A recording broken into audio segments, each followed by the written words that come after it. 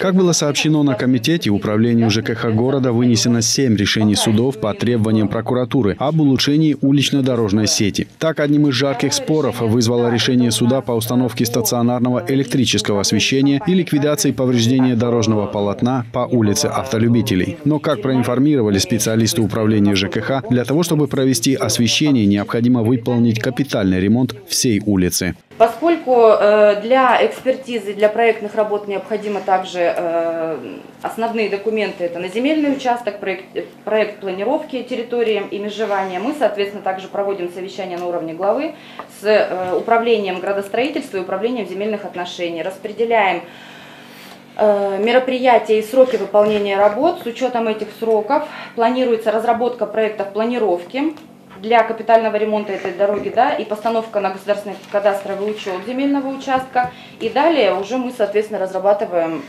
проект, э, проектно-сметную документацию на выполнение работ полностью капитального ремонта этой улицы, поскольку отдельно освещение проводить нецелесообразно.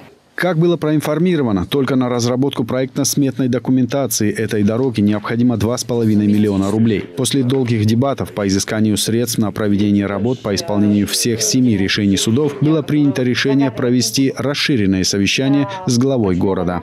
Реально это все равно придется администрация выходить из этого положения.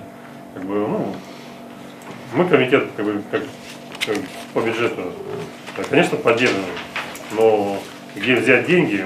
Еще одним вопросом повестки дня было обращение комитета по ЖКХ о выделении дополнительных бюджетных средств на разработку проектно-сметной документации по трем дорогам города, которые планируется реконструировать по программе «Безопасные и качественные автомобильные дороги». Было принято решение внести данный вопрос на очередной сессии Совета депутатов Бердска.